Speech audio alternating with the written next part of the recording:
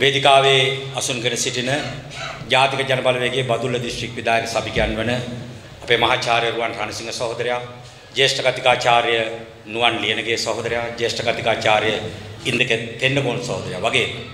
අපේ ජාතික විද්‍යා සංවිධානයේ බදුල්ල දිසා සභාවේ සභාපති මේ පස්වර ආසනෙම්ම අපේ දේශපාලන නායකත්වයක් දෙන මෙරටේ විශ්වවිද්‍යාල විද්වතෙක් වෙන අපේ ජ්‍යෙෂ්ඨ කතිකාචාර්ය ජයලත් අත්තනායක සහෝදරයා ඒ වගේම ජාතික විද්‍යා සංවිධානයේ බදුල්ල දිසා සභාවේ ක්‍රියාකාරී සමාජික අපේ හිටපු බදුල්ල මහරෝහලේ අධ්‍යක්ෂක වෛද්‍ය රෝහන් පී. මාපා සහෝදරයා ජගත් කුලසිංහ කුලතිලක ජ්‍යෙෂ්ඨ කතිකාචාර්යතුමා ප්‍රමුඛ. වේදිකාවේ ඉන්න අපේ ප්‍රවීණ සංගීත වේදිකෙක් වෙන සදානන්ද සහෝදරයා ප්‍රමුඛ අද තේරීපත් වුණු නිලධාරි මණ්ඩලයේ සියලුම සහෝදර සහෝදරියන්ගෙනුත් පැමිණ සිටින ආදරණීය අම්මලා තාත්තලා මාධ්‍යවේදී හිතවතුන්ගෙනුත් අවසරයි. අපි සතුටු වෙනවා බදුල්ල දිස්ත්‍රික්කයේ හැටියට අපේ දිස්ත්‍රික්කයේ ආසන 9ක් තියෙනවා. ආසන 9 අපි මේ දුෂ්ට දේශපාලනේ පරාජයට පත් කරන්න නව දේශපාලන ව්‍යාපාරයක් හැටියට ජාතික ව්‍යාපාරයක් හැටියට ජාතික ජනබලවේගයේ දැවැන්ත සංවිධාන බලයක් සූදානම් කරමින් පවතිනවා. කනවුරු බඳමින් පවතිනවා.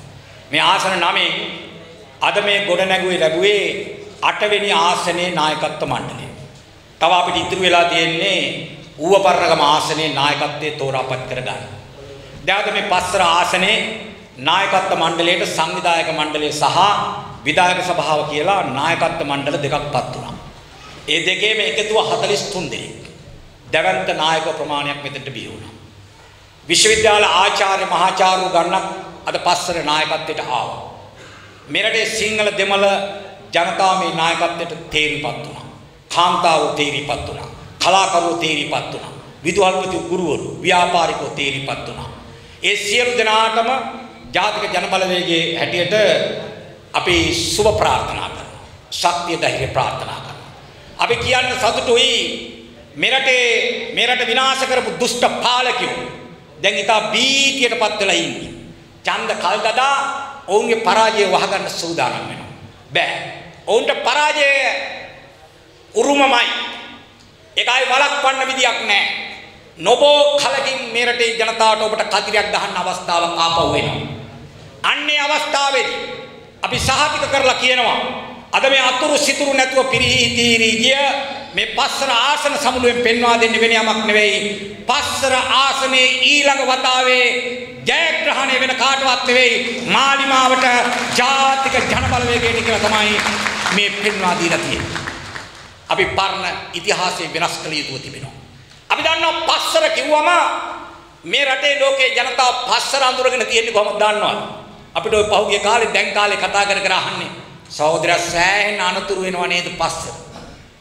පහුගිය දවසක වුණා පස්ස අනතුරක්. මේ පස්සර ලුණුගල පාරේ.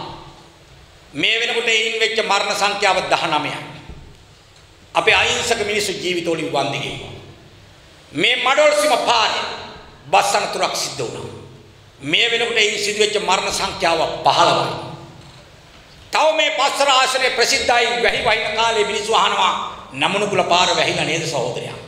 මඩොල්සිම පාර වැහිලා නේද? මඩොල්සිම ඉඳන් ඇකිරියට යන්න බෑ නේද? පාර ඔක්කොම විනාශයි නේද? ගල් පෙරලිලා නේද?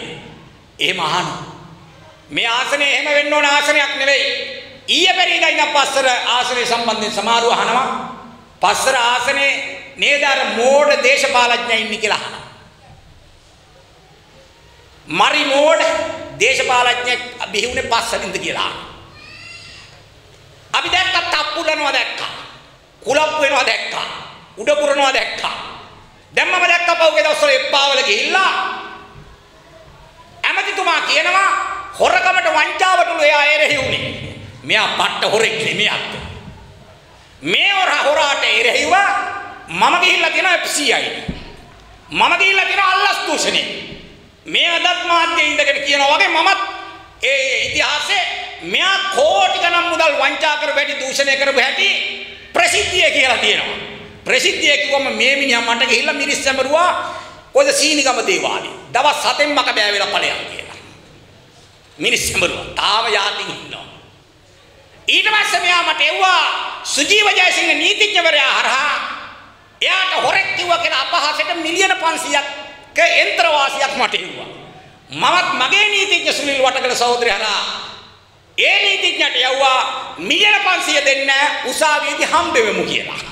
තාම හම්බුනේ නැහැ. ඉතින් පට්ට හොරාට කියනවා නැවතත් නුඹ හොරේ නුඹට මේ රටේ උඹේ දේශපාලන බලයෙන් හින්දා යට කරගෙන හිටියට අනිවාර්යයෙන්ම ජාතික ජන බලවේගයේ රජයක් යටතේ ඔය හොරකම් වලට නීතිය ක්‍රියාත්මක වෙනවා වෙනවා වෙනවමයි කියලා කියන්න ඕනේ.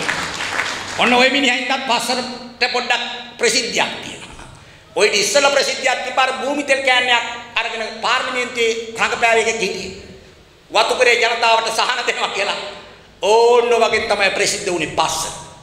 එහෙම ප්‍රසිද්ධ වෙන්න ඕන තරක් නෙවෙයි.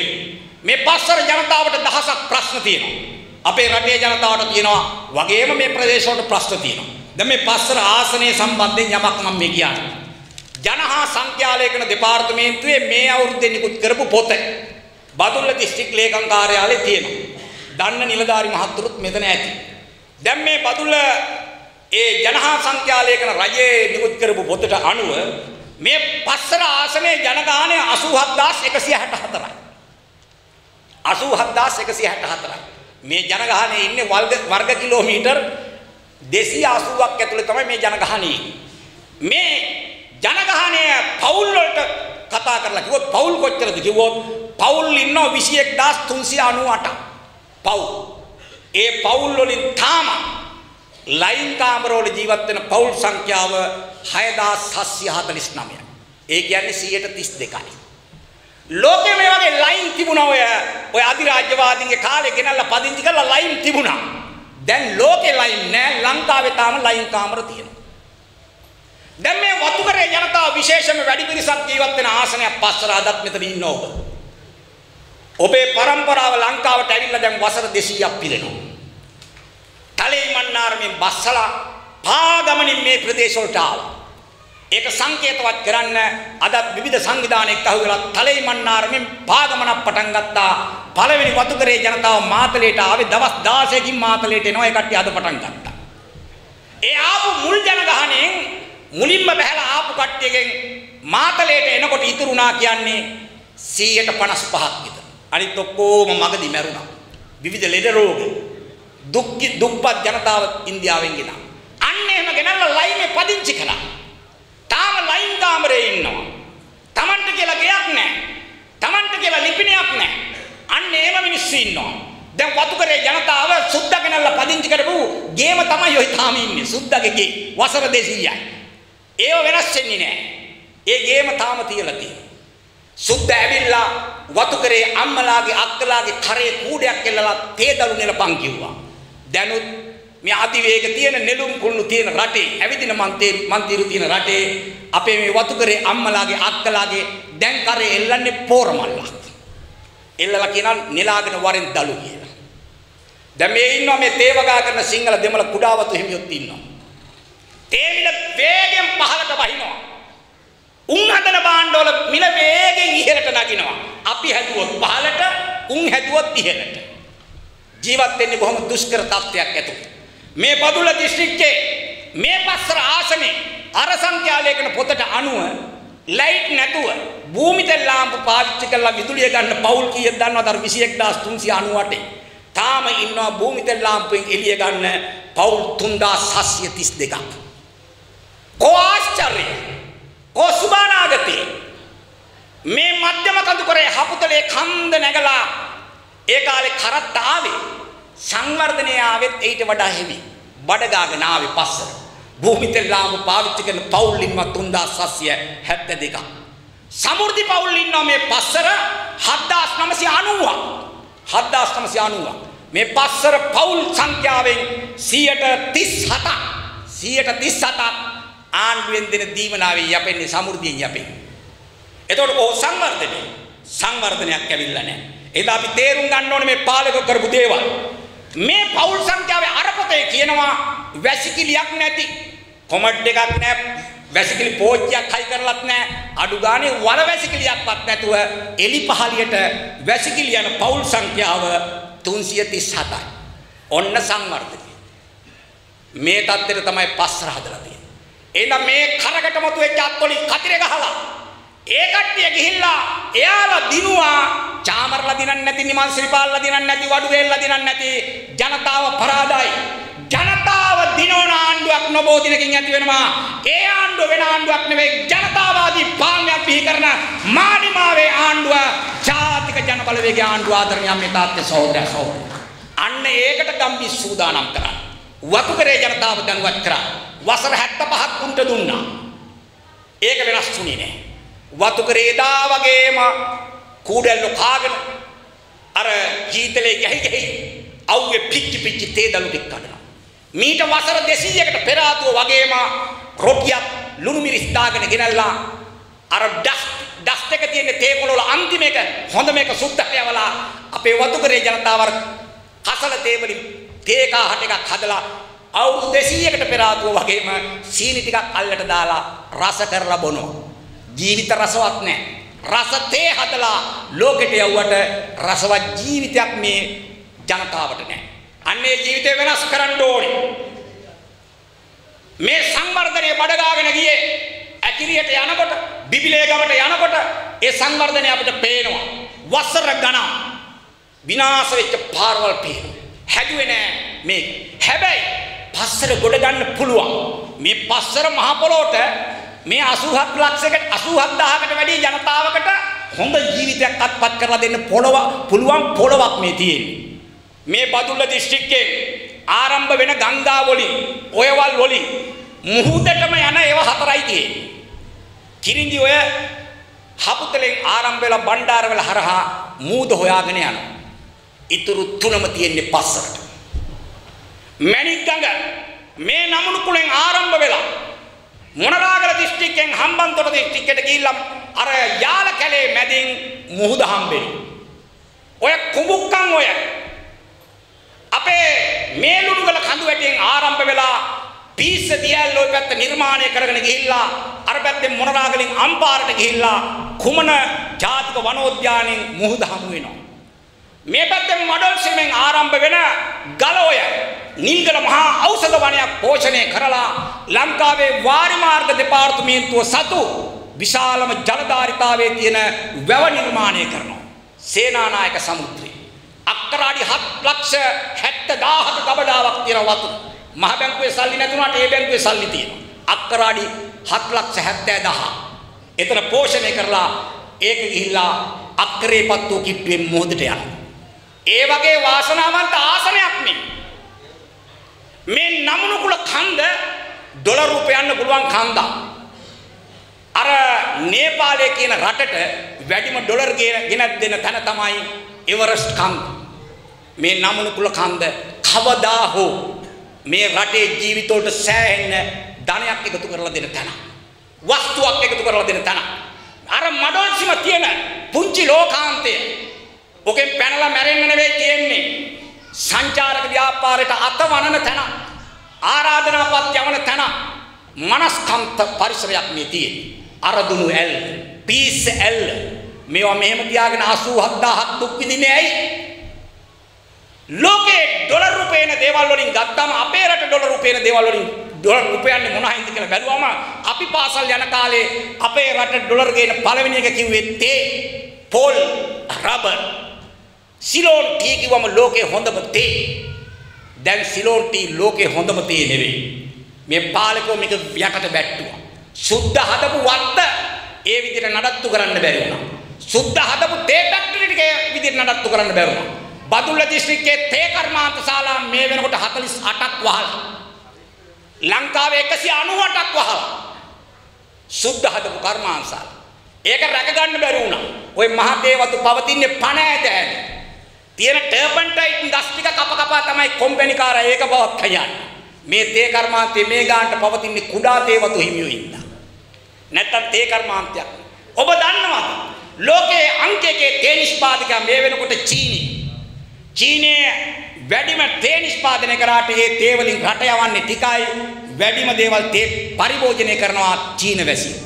ඒකට රට යවන ටිකෙන් කොච්චර උපයනවද දන්නවද? ඩොලර් බිලියන 96ක්. ගිය අවුරුද්දේ කට්ටිය ඉපීම ඩොලර් බිලියන 96ක්. ඩොලර් බිලියන 96ක්. මේ ජාත්‍යන්තර මූල්‍ය අරමුදලෙන් ගන්න යන ණය කීයද? ණය ඩොලර් බිලියන 2.9යි. අර කට්ටිය ඩොලර් බිලියන 96ක් හොයනවා තේ වලින්. ලංකාව දැන් කොච්චරද හොයන්නේ? Ceylon tea. දැන් සාමාන්‍යයෙන් අපි ඉන්නේ ඩොලර් බිලියන 1.5. මේ පස්සර ආසනයේ වැඩිම අක්කර ප්‍රමාණයක් වෙන් කරලා තියෙන්නේ තේ වගාවට. තේ වගාවට තියෙන අක්කර ප්‍රමාණය 17883යි. මේ පස්සර. ඔය ඩොලර් උපයන්න පුළුවන් වතු වට පණ දෙන්න ඕනේ. කුඩා තේවතවලට පණ දෙන්න ඕනේ. බදුල්ල දිස්ත්‍රික්කයේ ආසනමින් වැඩිම මැණික් තියෙන්නේ පස්සරට. මැණික් සම්පත තියෙන්නේ. ඔක්කොම ගොඩ අරගෙන නැහැ. මේ මැණික් වලින් පස්සර හැදුනට වැඩිය වෙන වෙන තැන් හැදුනේ. මේවා හදන්න පුළුවන්. දැන් බදුල්ල දිස්ත්‍රික්කයේ වැඩිම පුවක් වගාව තියෙන්නේ කොහෙද? මේ තියෙන පුවක් අක්කර 1030ක් පස්සර ආසනේ. පුවක්. දැන් රටින් පුවක් ගේනවා ලංකාවට. දයාගම කියලා ලෑස්ති. මෙතන හොඳ පුවක් අස්සන්නක් ගන්න පුළුවන් තැන. ගම් මිනිස් වලට හොඳ කියාපු තැන. ලුණුගල පැත්තට ගියාම හොඳ කුරුඳු වගාවට සුදුසු දේශගුණයක්. මේවට කෝ අතහිත. එහෙනම් මේ පාලකයෝ මේවා දිනු නොකලට මේ මහ පොළොවට මේ පස්සර පොළොවට මේ රට වෙනුවෙන් මේක වැඩි ඩොලර් හොයන්න පුළුවන්. ඒක තේකොළ වලින් විතරක් නෙවෙයි. සුළු අපනයන භෝග වලින් විතරක් නෙවෙයි. මැණික් වලින් විතරක් නෙවෙයි. සංචාරක ව්‍යාපාරයෙන් විතරක් නෙවෙයි. මේ පස්සර හොඳයි කිරියාශ්‍රිත නිෂ්පාදනයන් කරන්න හොඳ තැනක් තමයි පස්ස. බදුල්ල දිස්ත්‍රික්කේ වැඩිම කිරි නිෂ්පාදනයේ තියෙන්නේ ඌව පරණගම. දෙවනි කිරි නිෂ්පාදනයේ තියෙන්නේ පස්සර. වැඩිම කිරි නිෂ්පාදන. නමුත් ඒවා හොඳ මට්ටමට ගෙනල්ලා නෙවෙයි. මිනිස්සුන්ගේ හයියෙන් තියෙන්නේ. ඔන්න ඔය සියලු ශේෂ්ත්‍ර පාවිච්චි කරලා මේ පස්සර ආසනය මේට වැඩි ඔසවා තබන්න සැලැස්මක් වැඩපිළිවෙලක් තියෙන නායකත්වයක් තමයි අද තෝරගත්තේ. ඒ නායකත්වයේ තියෙන්නේ ජාතික ජනබලවේගයට පමණයි. ආදරණීය මේ තාත්තේ සහෝදරයා සහෝදරි. එනවා පස්සරට තැනක් හදන්න. ඒ තැන හදන්න දැන් ඔබ සූදානම් විය යුතුව තිබෙනවා. කල්පනා කරලා බලන්න. මේ පාලකයන්ගෙන් ඒක කරන්න බෑ. අපි පුංචි කාලේ ලංකාවේ වෙච්ච විශාලම හොරකම මංගොල්ලේ ගැන චිත්‍රපටියක් හැදුනා මතකයි. ටයිටස් තොටවත්තේ මහත්තයා තමයි චිත්‍රපටිය හැදුවේ. 4 ලක්ෂේ මංගොල්ලේ. 4 ලක්ෂේ මංගොල්ලේ ඒ කාලේ වෙච්ච ලොකුම හොරකම. රුපියල් ලක්ෂ 4ක් හොරකම් කරලා. කැෂියර් වරෙක් මරලා අරන් ගිහිල්ලා. ලංකාව බීතියටපත් වුණා දැවන්ත හොරකමක් වුණා කියලා ලක්ෂ 4ක් හොරකම් කරලා. ඒකට චිත්‍රපටියකුත් හැදුවා. 4 ලක්ෂේ මංගොල්ලේ. ඊට වැඩි හොරකම් ඊට පස්සේ වෙන්න පටන් ගත්තා. ඊට පස්සේ 2019 අලුත් චිත්‍රපටියක් හැදුනා. රාජපක්ෂවරු තමයි අධ්‍යක්ෂණය කරේ. තිරපිටපත ලියලා. ඒකට කියන්නේ සෞභාග්‍යයේ දැක්ම කියලා ඒ චිත්‍රපටියට. ආදායම් වාර්තා බිඳ හෙළුවා. 69 ලක්ෂයක් මේක බැලුවා. ඒ චිත්‍රපටිය. ඒක තිබ්බේ මොකද්ද? මහ බැංකු මහෝරා අල්ලන්න එන්න කියලා තමයි තිබ්බේ. කෝටි 11000ක් මහ බැංකුවෙන් හොරගම් කරා. පොඩි පොඩි බැංකු වලින් නෙවෙයි. ලංකාවේ ප්‍රධාන බැංකුවෙන් කෝටි 11000ක් හොරගම් කරා. අපි නෙවෙයි කියන්නේ. කෝප් කමිටු වාර්තාව කියන්නේ. මෛත්‍රීපාලක ජනාධිපති කොමිෂන් එකේ තියෙන්නේ. කෝටි 11000ක් හොරගම් කරා මහ බැංකුවේ සල්ලි. අපිට තිබ්බනම් කන්න හතරකට ලංකාවටම පොහොර ගෙනත් දෙනවා. පොඩි හොරකමක් නෙවෙයි. කෝටි 11000ක් හොරගම් කරා. ඔන්න ඔය හොරා අල්ලන්න හදපු චිත්‍රපටිය තමයි සෞභාග්‍ය දැක්ම. තව තව වැඩ තිබ්බා ඕක ප්‍රධාන වැඩ. ජනතාව හිතුවා හොරා අල්ලනවා යහ ආපහු නියම එන්නේ වියත්තු එන්නේ දූෂිතව පන්නනවා වියත්තුන්ගෙන් පාර්ලිමේන්තු පිරෙනවා කියලා දුන්නා 69 ලක්ෂයක් මේ චිත්‍රපටිය බැලුවා. දැන් දඬුවම් දෙන්න තමයි දුන්නේ. දැන් කොහමද? ආන්න දඬුවම් දීලා රනිල් ජනාධිපති දැන් දඩුවම් දෙනවා රනිලා කාටද මිනිස්සුන්ට දඩුවම් දෙන්න පටන් අරන්. මිනිහා දඩුවම් දෙනවා. මාධ්‍යවේදීන් අල්ලනවා, හිරියර කරනවා, අනපරක් ගේනවා, දානවා හිරි. ශිෂ්‍ය නායකව ගන්න. උද්යෝෂ වලට ගහනවා. බඩු මිල වැඩි කරනවා. රටේ සම්පත් විකුණනවා. අනපනක් ගේනවා. පස්සදොරෙන් හොරෙන් ආපු ජනාධිපති. දඩුවම් දෙන්න කියලා ගෙනාවා. ඒ ආදරණීය මේ තාත්තේ සහෝදරයා සහෝදරි දැන් ගෑස් පෝලිං තෙල් පෝලිං වල මැරුණේ නැතුණාට වෙනත් පෝලිං වල දැන් මැරෙනවා. දැන් මැරෙන්නේ අස්ස අස්සසුම පෝලිං. දැන් පෞද්ගලික දවසවල ඇල්ල ප්‍රා ඇල්ල ප්‍රාදේශීය ලේකම් කාර්යාලය මැරුණේ. දැන් බෙහෙත් ගත්තත් මැරෙනවා සමහරලාට බෙහෙත් නැතුවත් මැරෙනවා. මුන් වෙනත් පෝලිං වල මරනවා. දඬුවම් ජනතාවට දෙනවා. අන්න ඒ නිසා මේ දූෂිත දේශපාලඥයන්ට දඩුවම් දීලා ජනතාවාදී පාලනයක් යටතේ නිවැරදි දූෂිතයන්ට දඩුවම් දෙන පාලනය වෙන පාලනයක් නෙවෙයි. ඒක තමයි ජාතික ජනබලවේගයේ පාලනය ආදරණීය මේ තාත්තේ සහෝදරයන් කවුරු. අන්න ඒ වගේ පාලනයක් පිහි කරන්න මේ නායකත්වයත් එක්ක එක්කහුවෙලා මේ සමාජිකයෝ එක්කහුවෙලා තව තවත් බලයේ ගම්බින් ගම්බින් වල හදලා ජනතාව ඒක රාශී වෙලා ඒක රාශී කරගෙන සූදානම් වෙන්න නොබෝ කලමින් කලකින්ම දූෂිතයන් පන්නා දමන මැතිවරණය ඔබේ දෙපා මුලට ගෙනත් දෙන්න ජාතික ජනබලවේගයේ සූදානම් කියන පණිවිඩය දෙමින් ඔබට ජය වේවා රටට ජය වේවා මාලිමාව දිනේවා කියලා ප්‍රාර්ථනා කරමින් නවතිනවා ස්තුතියි ආයුබෝවන්.